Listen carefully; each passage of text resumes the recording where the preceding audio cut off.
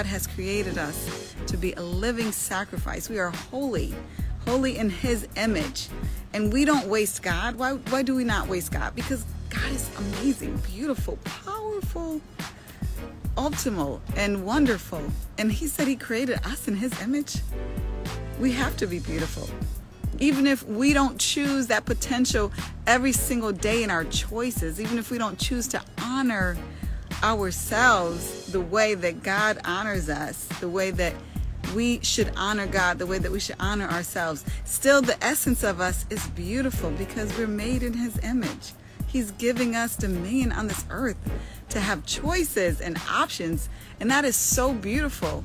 And every single day, every single hour, every single moment that we go on autopilot and we just do something because we did it before, because someone asked us to do it, or because, well, this is what's expected of us, we are literally throwing away that gift of choice that God gave us that is so delicate, so brilliant, so precious, and so limited.